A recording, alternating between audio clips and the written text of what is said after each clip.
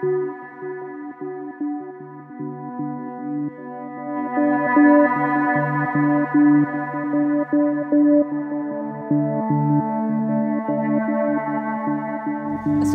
for Public Art asked me to create a piece that would reflect all the institutions along the Benjamin Franklin Parkway. Three art museums, two science museums, an art school, a library, two churches, a horticultural society, Benjamin Franklin is, is probably in every single collection.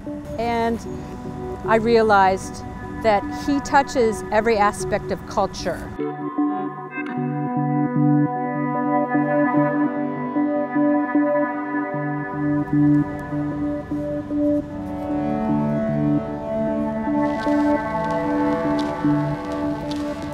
The piece was inspired by the scientific research of Benjamin Franklin.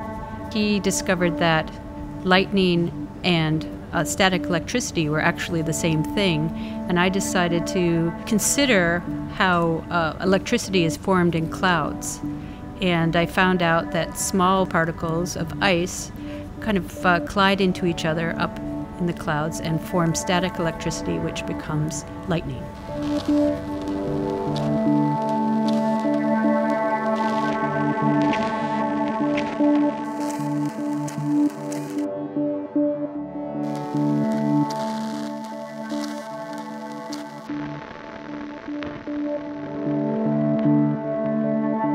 Think because it's light and it's animated and moving, people kind of stop and wonder.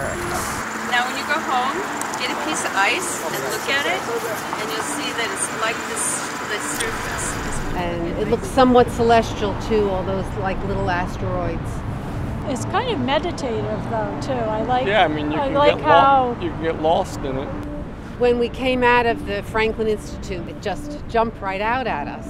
So first I took a picture from across the street, and then we said, well, we have to go. We have to come closer. We never got close to them though. We always see them from the street. It's so cool, and I like how the flowers come once in a while. It is so unique. I mean, mm-hmm. they, I have never seen something like it. Mm-hmm.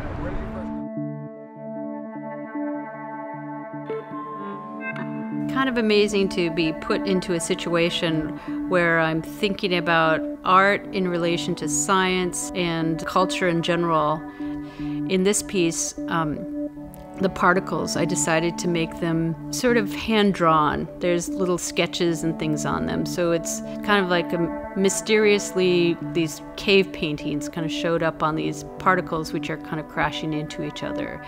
And so it begs the question, I guess, who drew these?